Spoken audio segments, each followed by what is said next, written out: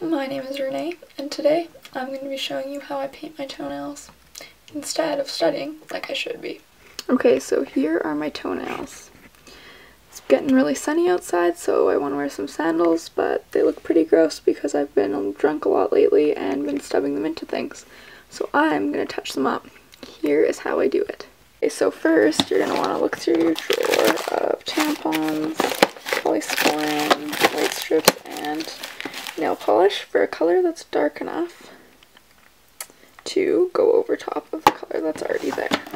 Okay, so as you can see, I chose black because my toes are also black. Um, I'm just going to go around and I'm going to try and even these up a little bit with my black nail polish. Okay, so we had a slight problem. The uh, top has detached from the lid, so we're going to try a new color. Okay, so here's the new color. It's a nice sparkly kind of pinky black color and hopefully that will cover up these gross edges. Let's see how it works.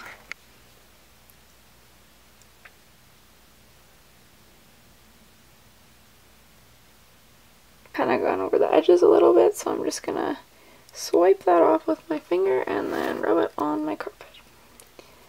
So there we go. Nice.